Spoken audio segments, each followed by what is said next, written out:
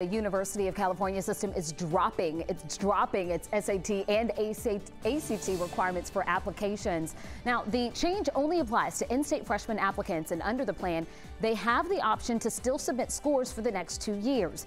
In the meantime, they'll be working to develop a new test that, quote, better aligns with the content of the university expectations for students to have mastered for college readiness.